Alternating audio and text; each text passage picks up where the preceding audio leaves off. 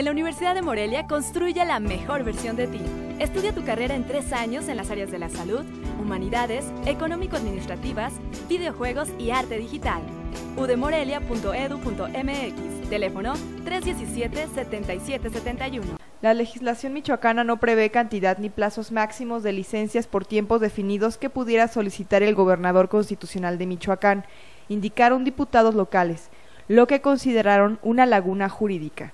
Yo creo que estas son situaciones que le generan incertidumbre al Estado, pero así están plasmadas en este momento en la Constitución. Y Esa parte queda en la, en la en la especulación jurídica o no sé cómo decirlo. La ley no está regulada, la ley no regula un periodo atípico.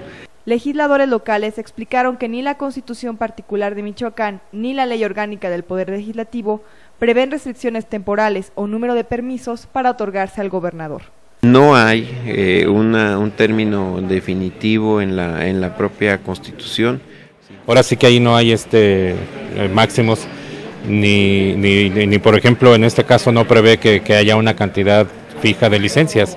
Ante la posibilidad de que el gobernador con licencia Fausto Vallejo Figueroa solicite un nuevo permiso de ausencia, la indefinición legal expone la situación a diversas interpretaciones. Eh, pero no podemos irnos también con licencias temporales, con licencias de tres meses o de 30 días o de seis meses hasta alcanzar los dos años. El pasado 23 de abril inició el permiso que el Congreso local extendió a Fausto Vallejo Figueroa para atender su salud, que vencerá el 21 de julio, sin que haya certeza sobre la decisión del mandatario con licencia de regresar a sus funciones o solicitar otro permiso. Para Cuasar TV, Fátima Paz.